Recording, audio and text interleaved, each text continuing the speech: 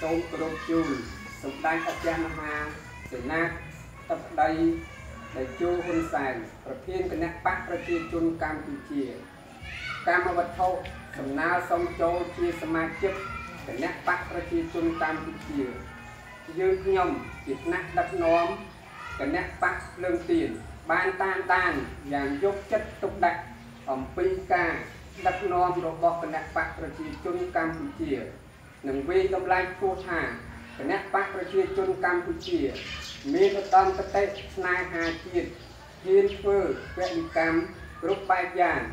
ដើម្បីផលប្រយោជន៍ដ៏ឧត្តមឧត្តមរបស់ប្រទេសជាតិ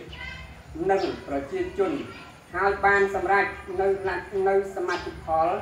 ធំធំជាប្រវត្តិសាស្ត្រយ៉ាងច្រើនជូនជាតិក្នុងពុបហេតុកសាងនិងការពារមាតុភូមិកម្ពុជា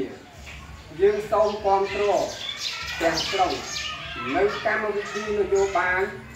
និងលក្ខណ្ឌកាសរបស់គណៈបកប្រជាជនកម្ពុជា ជាពិសេសយើងខ្ញុំសូមគាំទ្រយ៉ាងពេញទំហឹងក្នុងការកសាងព្រែកជីហូណនដែលជោដើម្បីជាប្រយោជន៍ដ៏មហាសាលសម្រាប់បម្រើឲ្យប្រព័ន្ធគមនាគមន៍ដឹកជញ្ជូនផ្លូវទឹកនៃប្រទេស នឹងបានជាប្រយោជន៍ដល់ប្រជាជនខ្មែរទូទៅបានប្រើប្រាស់ព្រែក